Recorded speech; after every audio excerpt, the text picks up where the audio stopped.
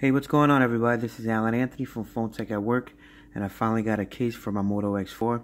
So, start the video. Let me show you what I'm talking about.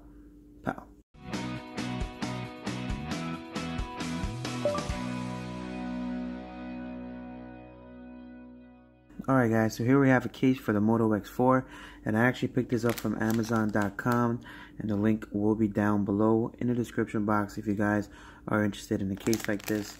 So I picked this case because it was cheap and it looked good from the pictures.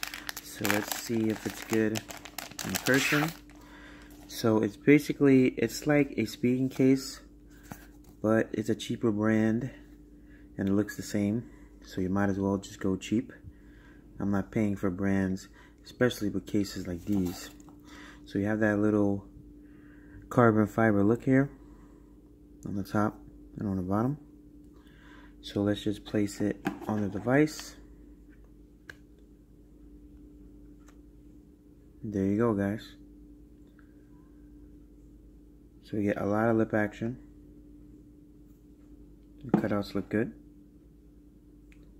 and the buttons are clicky. Let's see how that camera hump is. So you don't really have any lip for the camera. Barely, maybe just a little bit, but it's pretty flush. And we have a cutout that's for the mic in the back. And the headset jack and the Type-C port looks good as well. Alright guys, if you guys want to buy this case, the link will be down below. And if you like this video, please give it a thumbs up. And follow Phone Tech at Work for more videos like this of the Moto X4 and more tech to come.